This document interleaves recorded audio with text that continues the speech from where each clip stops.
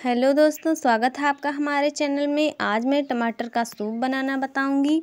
तो मैंने टमाटर को धोकर काट कर उबलने के लिए रख दिया है और इसे हमें बहुत अच्छी तरह से पकाना है। तो मैंने यहाँ पर लिया है कटी हुई हरी मिर्च अदरक और लहसुन। इन सबको काट कर रख लेना है। उसके बाद टमाटर को देखते हैं। देखिए, हमारा टमाटर पक के तैयार हो चुका है।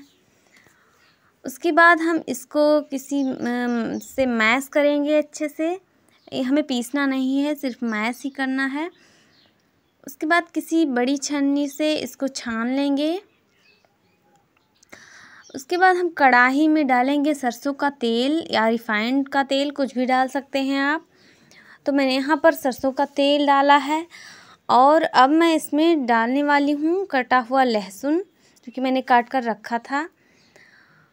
लहसुन और अब मैं इसमें डाल रही हूँ अदरक, जो मैंने काट कर रखा था।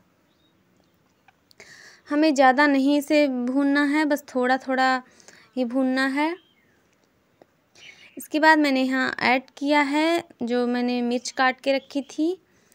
और ये देखिए, हल्का ब्राउन हो गया है। अब मैंने इसमें डाला है सेजवान चटनी थोड़ी सी लगभग आधा चम्मच। और फिर मैंने एक छोटा चम्मच इसमें डाला है टोमेटो केचप। और एक आधा ढक्कन मैंने डाला है सोया सॉस। सोया सॉस हमें बहुत थोड़ा ही डालना है।